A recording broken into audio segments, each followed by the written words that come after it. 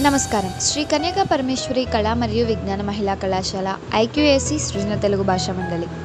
పరిపాలనా యంత్రాంగం సజావుగా పనిచేసేలా చూడడానికి వివిధ భాగాల్లో విశ్రాంతి లేకుండా పనిచేస్తున్న సివిల్ సర్వెంట్ల ప్రయత్నాలకు గుర్తుగా భారతదేశం ఏప్రిల్ ఇరవై ఒకటవ తేదీన జాతీయ పౌర సేవల దినోత్సవాన్ని జరుపుకుంటుంది.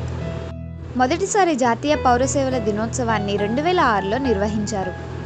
జాతీయ పౌర సేవల దినోత్సవం యొక్క కార్యక్రమాలు పబ్లిక్ అడ్మినిస్ట్రేషన్ విభాగంలో ఉత్తమ సేవలు అందించిన వారికి ప్రధాన్ మంత్రి పేరిట అవార్డులను ఇవ్వడం జరుగుతుంది.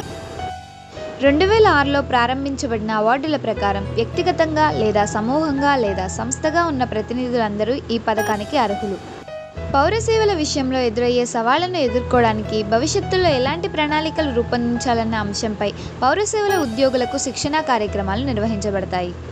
పౌర సేవల గురించి పౌరుల హక్కుల గురించి గ్రామ స్థాయిలో గ్రామస్తులకు విద్యార్థులకు అవగాహన కల్పిస్తారు.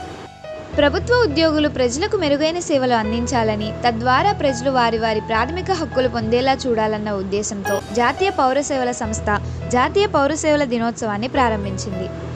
ధన్యవాదాలు.